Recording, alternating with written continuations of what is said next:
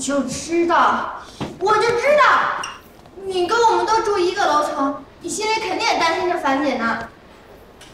谁担心她呀？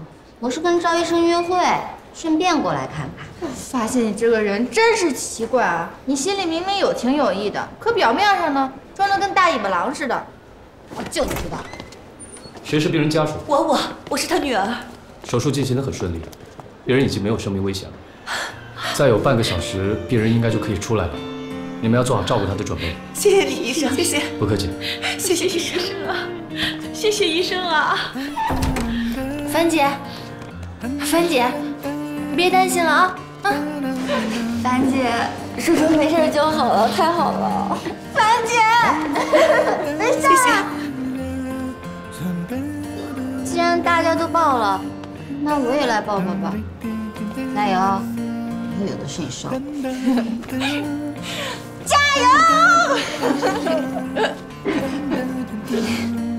以前我总是做事都是瞻前顾后的，我现在才发现，其实有些事情只要勇敢的去面对，一切都是可以解决的。